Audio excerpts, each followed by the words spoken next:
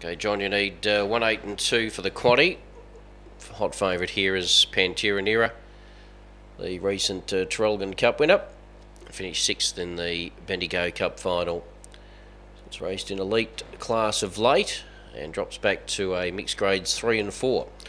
Okay, the green light is on and we're set to go. Ready, Away they go. Pantera Nera came out beautifully. The favourite goes straight to the early lead. Eli's Jet going up to second for the moment. Then on the inside, Dr. Bodacious, who's trying to rail. Uh, on the outside, then came Mr. Brown, about three lengths older, Bale, Wellback, Nicky Dell, and Dark on Dash. Coming up to the corner, favourite Pantera Nera the leader by four Eli's Jet. On the outside, then came Mr. Brown, but up the home running, Pantera Nera clear. And Pantera Nera, no worries for the favourite. Eli's Jet second.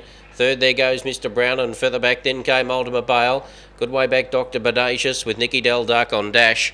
And the run there is 26.04.